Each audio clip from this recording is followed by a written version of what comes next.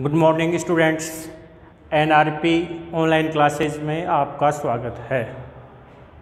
आज हम online classes के अंदर ग्रामर के बारे में जानकारी लेंगे। ग्रामर के जो टॉपिक है, उनके बारे में पढ़ेंगे। तो सबसे पहले लेक्चर वन के अंदर हम जो आज स्टार्ट कर रहे हैं ऑनलाइन क्लासेस उसके अंदर हम स्टार्ट जो हमारा फ़र्स्ट लेक्चर होगा फ़र्स्ट जो टॉपिक होगा वो टेंस से संबंधित होगा टेंस के बारे में होगा। जो टॉपिक होगा हमारा फ़र्स्ट लेक्चर टॉपिक जो है, वो टेंस के बारे में होगा। देखिए बच्चों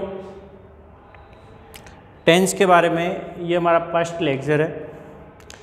लेकिन ये आपकी जो ऑनलाइन क्लासेज है, उसके अंदर आपको सबसे पहले जो मेन काम है, वो एक कॉपी और बनानी है, जिसके अंदर आप इम्पोर्टेंट पॉइंट्स नोट कर सको। साथ के साथ लास्ट में कुछ होमवर्क नोट कर सको, जिसको आप रेगुलर ठीक क्लास में ठीक है नेक्स्ट लेक्चर में उसको समझेंगे, उसको चेक करेंगे ऑनलाइन ठीक है? तो इस वजह से आपको एक होमवर्क की कॉपी भी बनानी है।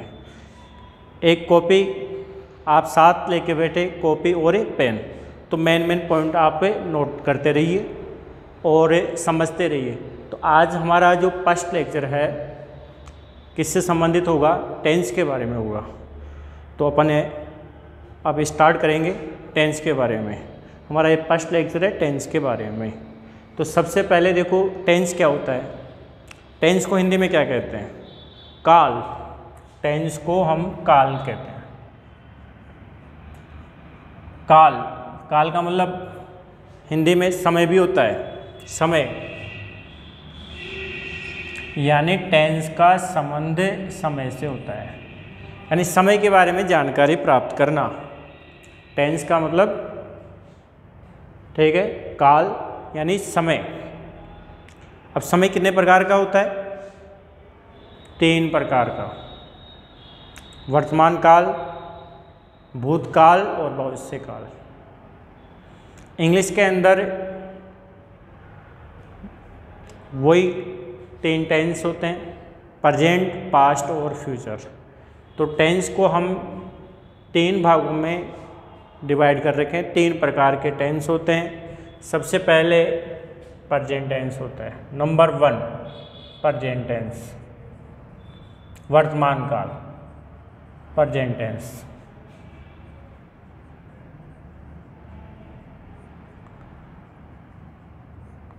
number two past tense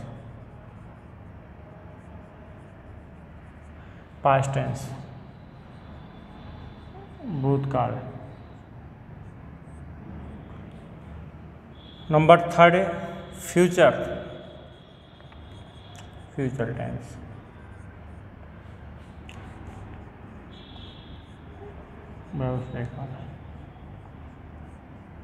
देखिए स्टूडेंट्स तीन टेंस होते हैं। Present tense past tense future tense there are three kinds of tenses there are three kind of tenses present past और future then present tense has four parts यानी present tense के आगे चार भाग हो जाते हैं। ऐसे पास्ट के हो जाते हैं, ऐसे ही फ्यूचर टेंस के चार चार ठीक है पार्ट्स हो जाते हैं। उनके बारे में भी हम, ठीक है, अभी, ठीक है step by step present tense के कौन से चार पार्ट्स होते हैं पास्ट के कौन से होते हैं फ्यूचर के कौन से होते हैं, उनके बारे में जानकारी प्राप्त करेंगे। देखिए, सबसे पहले जो प्रजेंट टेंस होता है नंबर वन, मैं रिपीट कर रहा हूँ प्रजेंट टेंस उसके चार पार्ट्स में बता रहा हूँ। Simple present tense simple present tense जिसे अपन प्रजेंट इंडेफिनेंट के नाम से भी जानते हैं। Number two present continuous present continuous present continuous को हम प्रजेंट प्रोग्रेसिव के नाम से भी जानते हैं। Present progressive number third present perfect tense number four present perfect continuous tense ये चार प्रकार प्रजेंट टेंस के होते हैं। सिंपल प्रजेंट टेंस जिसको हम प्रजेंट इंडेफिनेंट के नाम से भी जानते हैं। Present continuous present perfect present perfect continuous तो हम ऐसे पास्ट टेंस के बारे में नेक्स्ट क्लासेस में पढ़ लेंगे फ्यूचर के बारे में भी पढ़ेंगे। ऐसे हम वन बाय वन एक एक चीज़ को, ठीक है, अच्छी तरीके से क्लास के अंदर यहाँ पर समझने की कोशिश करेंगे। आपको सबको ये ऑनलाइन क्लासेज अच्छी तरह से समझ में आएगी। यदि आप इसको सीरियसली सुनेंगे सीरियसली देखेंगे और जो हम क्लास जैसे ही ख़त्म होगी लेक्चर फ़र्स्ट ख़त्म होगा तो उसके एंड में कुछ होमवर्क के लिए कुछ सेंटेंस देंगे, जिनको आप अपने क्लासेज में नेक्स्ट क्लासेज में है सोल्व करके लाएँगे। इसलिए आप सभी, ठीक है, इन चीज़ों को ढंग से पढ़ने की कोशिश करें। तो आज हम सबसे पहले जो हमारा फ़र्स्ट लेक्चर है सिंपल प्रेजेंट टेंस का, उसी पर रहेगा कि सिंपल प्रेजेंट टेंस के सेंटेंस कैसे बनाए जाते हैं। सिंपल प्रेजेंट टेंस के जो वाक्य हम सीखेंगे, वो यहाँ पर देखेंगे। सबसे पहले देखिए, सिंपल प्रेजेंट टेंस को भी मैंने समझाया था कि चार पार्ट्स होते हैं। Number A, present, simple. जिसको हम प्रजेंट इनडेफिनेंट के नाम से भी जानते हैं। इनडेफिनेट का मतलब होता है अनिश्चित। जैसे कोई कार्य हुआ, वह जाता है, अब कब गया पता नहीं। वह खाता है, अनिश्चित है, कब खाता है। वह खेलता है, अनिश्चित है। तो इसको हम इनडेफिनेट का मतलब है कि ऐसा कार्य जिसके बारे में, ठीक है, अनिश्चितता हो इनडेफिनेट कहलाता है। इनडेफिनेट का मतलब ही अनिश्चित होता है। जैसे वह पढ़ता है। अब कार्य तो हो रहा है, पढ़ता है वो, पढ़ता है वो। लेकिन कब पढ़ता है वो? सुबह पढ़ता है, शाम को पढ़ता है, दोपहर को पढ़ता है, कब पढ़ता है? ये अनिश्चित है, ये कहना। लेकिन कार्य वर्तमान में हो रहा है कि वो पढ़ता है रेगुलर है, ये, वह पढ़ता है। तो ये वाक्य जो है वो सिंपल प्रेजेंट टेंस का है। हिंदी के अंदर, क्रिया के अंत में, ता है, ती है, ता हूँ, ते हैं, ये शब्द आने चाहिए। क्रिया के अंत में क्या आने चाहिए? ता हूँ ती है, ता है, ये शब्द क्रिया के अंत में आ जैसे वह पढ़ता है। अब इसमें क्रिया हो गई, पढ़ना, पढ़ता है। और सब्जेक्ट हो गया वह। अब इसका जब इंग्लिश बनाएँगे तो ये सब्जेक्ट है ही रीड्स अब क्या पढ़ता है? ये दिया नहीं, इसमें ऑब्जेक्ट नहीं दिया कि वाक्य, ठीक है सब्जेक्ट वर्ब पर बन गया कि ही रीड्स वह एक किताब पढ़ता है तो हम लिख सकते हैं he reads a book he reads a book number two दूसरा जो सेंटेंस है, वे खेलते हैं, वे खेलते हैं. आप भी ऐसे सेंटेंस बना सकते हैं। जैसे सब्जेक्ट हो गया, वे यानी दे प्ले दे प्ले तो बच्चों, ये दो वाक्य मैंने सिंपल प्रेजेंट टेंस के एग्ज़ाम्पल उदाहरण दे के समझा रहा हूँ। वह पढ़ता है। वह पढ़ता है। तो क्रिया के अंत में क्या आया ता है। तो हमें क्या ध्यान रखना चाहिए कि क्रिया के अंत में ता है, ती है, ता हूँ, ते है आना चाहिए। क्या आना चाहिए? ता है, ती है, ता हूँ, ते है। ये क्रिया के अंत में आना चाहिए। जैसे ता है, ते हैं, ती है, ऐसे। उसके बाद में अपन स्ट्रक्चर के अकॉर्डिंग उनका अरेंजमेंट कर लेंगे तो वाक्य इजी वे में आराम से हम बना सकते हैं इंग्लिश के अंदर। इंग्लिश कोई कठिन चीज़ नहीं है। उसको हम सब्जेक्ट वर्ब यदि ध्यान से समझे, पढ़े और स्ट्रक्चर को समझने की कोशिश करें तो हम आराम से, ठीक है, आसानी से इंग्लिश ग्रामर सीख सकते हैं। जैसे हम एक वाक्य और बना सकते हैं। राम विद्यालय जाता है। राम विद्यालय जाता है। अब देखो इसमें ता है आ गया। तो इसका मतलब ये भी सिंपल प्रेजेंट टेंस का है। राम विद्यालय जाता है। Ram goes to school. Ram Jaipur जाता है तो अपन स्कूल की जगह जयपुर लिख लेंगे। Ram goes to Jaipur, Ram goes to market, Ram goes to Ajmer, Ram goes to village. ऐसे हम वाक्य अरेंजमेंट करके इंग्लिश बनाते हैं। तो जो सिंपल प्रेजेंट टेंस है, उसके भी फोर पार्ट्स होते हैं। चार प्रकार का होता है सिंपल प्रेजेंट टेंस भी। अफर्मेटिव नेगेटिव इंट्रोगेटिव और इंट्रोगेटिव नेगेटिव सकारात्मक वाक्य, नकारात्मक वाक्य, प्रश्नवाचक वाक्य, प्रश्नवाचक, नकारात्मक वाक्य.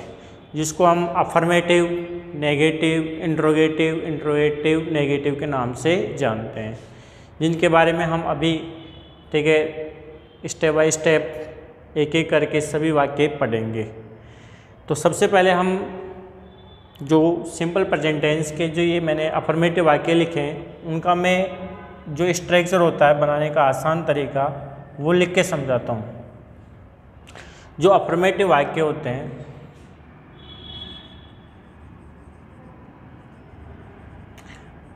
अफर्मेटिव सेंटेंस उनका जो ये पैटर्न है सबसे पहले देखो, हमें सब्जेक्ट करता जो होता है, कार्य करने वाला सब्जेक्ट उसके बारे में ध्यान रखना है। सब्जेक्ट के बाद में वर्ब का ध्यान रखना है। वर्ब में अपन S E S I S add करेंगे। फिर उसके बाद में ऑब्जेक्ट या अदर पार्ट्स जो होता है, उसका यूज़ कर लेंगे। ये पैटर्न है अफर्मेटिव का। तो देखो मैंने वर्ब फ़र्स्ट लिखी है, यानी वर्ब जो होती है, क्रिया होती है, तीन प्रकार की होती है। फ़र्स्ट फॉर्म सेकंड फॉर्म और थर्ड फॉर्म तो जो फ़र्स्ट फॉर्म जो यूज़ की जाती है, वो सिंपल प्रेजेंट टेंस में यूज़ की जाती है। अब फ़र्स्ट फॉर्म के अंदर ही हम तीन शब्द यूज़ करते हैं एस ई एस और आई एस कितने शब्द यूज़ करते हैं फ़र्स्ट फॉर्म में?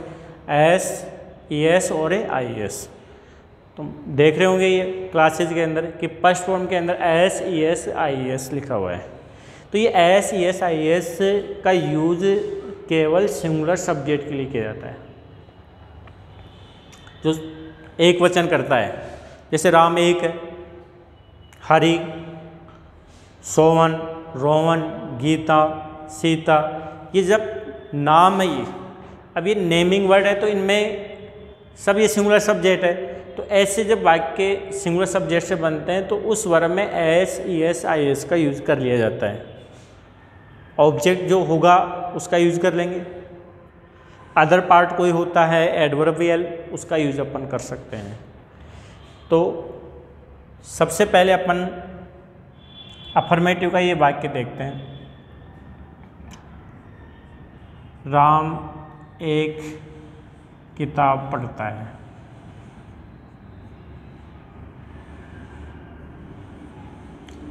तो देखो, सबसे पहले तो हिंदी का ध्यान रखना है ताहे आना चाहिए। क्या आना चाहिए? ता है। ये सबसे इम्पोर्टेंट बात है, पहचान करने की। हिंदी के वाक्यों में ये ता है, ती है, ये मैंने ऊपर लिखा है। ता हूँ, ते है, ये शब्द अपन को नोटिस करना है। राम एक किताब पढ़ता है। अब इसमें क्रिया कौन सी हो रही है? पढ़ना। ऑब्जेक्ट है, क्या पढ़ता है, कि बुक पढ़ता है वो। और सब्जेक्ट है यहाँ पर राम। अब राम एक वचन है या बहुवचन है? राम यहाँ पर एक वचन है, क्योंकि ये सिंगुलर है, केवल अकेला है। तो यहाँ पर नाम है तो ये राम सब्जेक्ट हो गया। राम पढ़ना क्रिया हो रही है। तो यहाँ पर देखो नंबर टू पर सब्जेक्ट के बाद में वर्ब लिखी हुई है। तो यहाँ पर रेड तो यहाँ पर हो जाएगा रेड्स क्योंकि राम सिंगुलर है तो ऐस लगा दिया मैंने। Ram reads a book. ये वाक्य बन चुका। Ram reads a book. अब यदि अपन इसमें केवल राम रेड ए बुक ही लिखते हैं तो ये वाक्य हमारा ग्रामेटिकल गलत है। राम रेड ए बुक लिखते हैं तो ये वाक्य हमारा गलत है और ये वाक्य सही है। अब सही और गलत को कैसे पहचानते हैं? सब्जेक्ट के अकॉर्डिंग वर्ब यूज़ होनी चाहिए। सब्जेक्ट के अकॉर्डिंग वर्ब यूज़ होनी चाहिए। यदि सब्जेक्ट के अकॉर्डिंग वर्ब यूज़ नहीं होती है तो वाक्य ग्रामेटिकली ठीक है, उसमें मिस्टेक मानी जाती है एरर होता है वो, ठीक है, इसलिए वो इनकरेक्ट सेंटेंस मान लिया जाता है। इसलिए अपन को स्ट्रक्चर को ढंग से समझना चाहिए। यदि स्ट्रक्चर अपन को ढंग से समझ में आ रखा है, बार बार इसका प्रैक्टिस करें, अभ्यास करें स्ट्रक्चर को याद रखें तो अपन आसानी से ये वाक्य बना सकते हैं। जैसे मैंने एक एग्ज़ाम्पल दिया, राम एक किताब पढ़ता है। अब राम रीड्स ए बुक तो ये वाक्य बिल्कुल करेक्ट है। और यदि मैं इसी वाक्य को केवल ऐसा लिख देता हूँ, राम रीड ए बुक तो ये गलत हो सकता है, क्योंकि इसके अंदर ऐस नहीं लगा हुआ। इसलिए ये वाक्य पैटर्न के अनुसार सही नहीं बना हुआ है, इसलिए ये गलत हो सकता है। इसका अपन ध्यान रखेंगे। तो अपन सही गलत को आसानी से पहचान सकते हैं। तो राम एक किताब पढ़ता है। ऐसे दूसरा एग्ज़ाम्पल लिखते हैं। हम क्रिकेट खेलते हैं। हम क्रिकेट खेलते हैं। देखो, इसमें लास्ट में ते है आ रखा है। क्या रखा है? ते है हम क्रिकेट खेलते हैं। हम क्रिकेट खेलते हैं। सब्जेक्ट हुआ इसमें वी वर्ब है इसमें play, we play cricket. We play cricket. अब वी यहाँ पर प्लूरल सब्जेक्ट है। बहुवचन है ये। वी यानी हम मैस यानी एक से ज़्यादा यहाँ पर। तो यहाँ पर जब एक से ज़्यादा सब्जेक्ट होता है तो प्लूरल सब्जेक्ट होता है। उसमें केवल फ़र्स्ट फॉर्म लगती है वर्ब की। बेस्ट फॉर्म जो होती है वो फ़र्स्ट फॉर्म ही रहती है यहाँ पर we play cricket, we play cricket. इस प्रकार से ये अफर्मेटिव स्ट्रक्चर होता है। ठीक है, आया होगा समझ में तुम्हें कि केवल एक स्ट्रक्चर को समझने से हम बहुत सारे वाक्य सीख सकते हैं। राम एक किताब पढ़ता है। अब मैं दूसरा वाक्य जैसे तुम्हारे को और बताता हूँ। मोहन दौड़ता है। मोहन दौड़ता है। अब दौड़ना का मतलब है रन रन मीन्स क्या होता है? दौड़ना. जैसे अपन दौड़ते हैं तो उसको रन बोलते हैं इंग्लिश में. तो Mohan runs Mohan runs S क्यों लगाया मैंने? क्योंकि मोहन यहाँ पर सिंगुलर है. यदि मोहन यहाँ पर सिंगुलर है तो मेरे को एस लगाना पड़ेगा. इस चीज़ का हमें ध्यान रखना चाहिए कि सब्जेक्ट के अकॉर्डिंग अपन ये यूज़ करें. तो ये S E S I S का जो यूज़ है, वो अपन एक सिंपल तरीके से और सीख सकते हैं.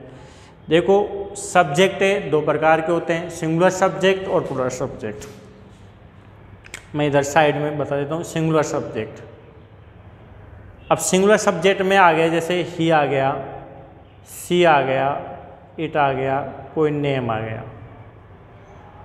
और एक होता है प्लूरल सब्जेक्ट जैसे आई आ गया we you they, Ram and Mohan. ये प्लूरल सब्जेक्ट होते हैं। तो सिंगुलर सब्जेक्ट के साथ तो सिंगुलर वर्ब यूज़ होती है। और प्लूरल सब्जेक्ट के साथ प्लूरल वर्ब यूज़ होती है। इस चीज़ को अपन यदि ढंग से समझेंगे तो कभी भी हमारे वाक्य गलत नहीं बनेंगे। सिंगुलर सब्जेक्ट के साथ सिंगुलर वर्ब और प्लूरल सब्जेक्ट के साथ प्लूरल वर्ब सिंगुलर सब्जेक्ट के साथ सिंगुलर वर्ब और प्लूरल सब्जेक्ट के साथ वर्ब ये स्ट्रक्चर में विशेष ध्यान रखना चाहिए। यदि सिंगुलर सब्जेक्ट है तो सिंगुलर वर्ब लगा दो। प्लूरल सब्जेक्ट है तो प्लूरल वर्ब लगा दो। अब वर्ब सिंगुलर बनाने के लिए अपन केवल S E S I S का प्रयोग करते हैं। वर्ब हमेशा जो फ़र्स्ट फॉर्म होती है, वो हमेशा प्लूरल फॉर्म में रहती है, हमेशा परमानेंट प्लूरल फॉर्म में रहती है वो। अब उस परमानेंट जो प्लूरल फॉर्म में रहती है, उसको यदि अपन को सिंगुलर बनाना है तो अपन को S E S I S का यूज़ कर लेते हैं। आसानी से देख लेते हैं। जैसे अपन को ई एस का प्रयोग करना है सबसे पहले। तो जिन क्रियाओं के एंड में double S S S C H O X Z आता है। The verb ending with double S S H C H O X Z the verb ending C H O X CH, we use only E S for example go verb है।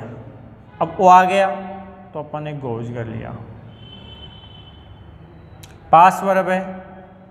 Double S आ गया तो Passage हो गया। ऐसे। केच verb है। तो केचेज कर लिया। ऐसे अपन आई का use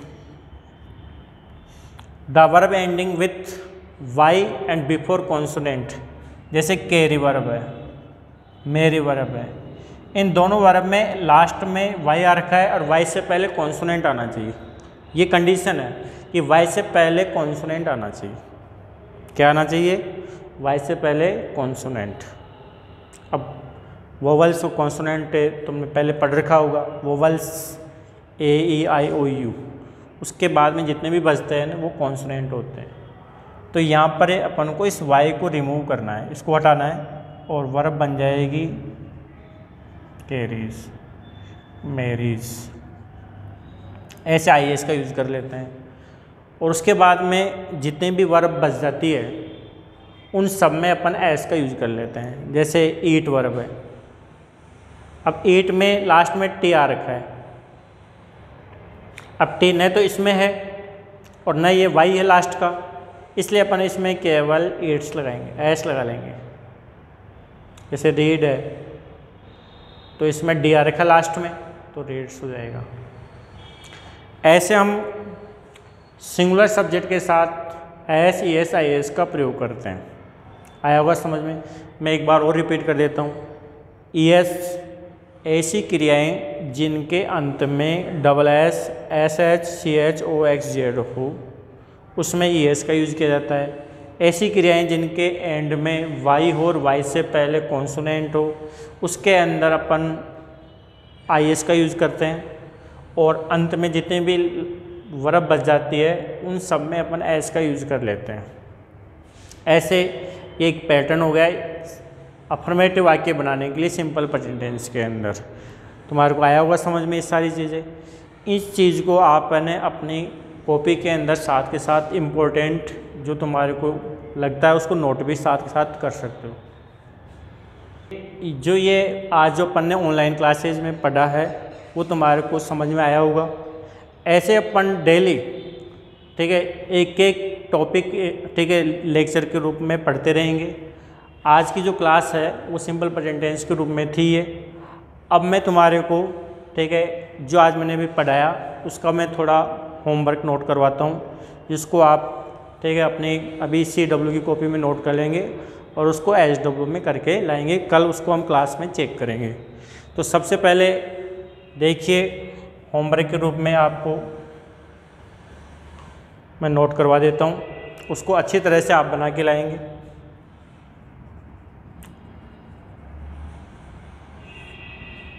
जो अभी अफर्मेटिव सेंटेंस पढ़े थे, उन्हीं के ऊपर आप ये वाक्य बनाएँगे। राम, एक गाना गाता है।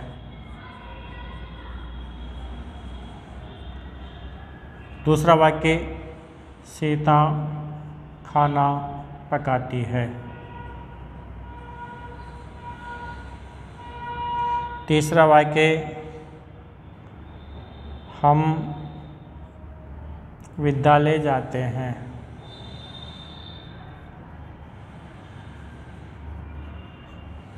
नेक्स्ट वे दौड़ते हैं।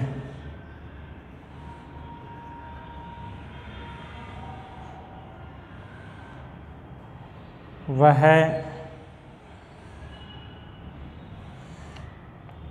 एक किताब ठीक है, लिखता है। ये पाँच वाक्य आप सभी अपने होमवर्क की कॉपी में नोट करेंगे और इसको अच्छी तरह से इन वाक्यों को बनाएँगे। कल हम नेक्स्ट लेक्चर के अंदर इस होमवर्क को समझेंगे।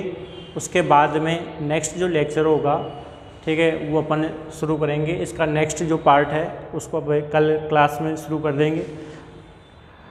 तो आज का ये लेक्चर समझ में आया होगा। ठीक है धन्यवाद। Thank you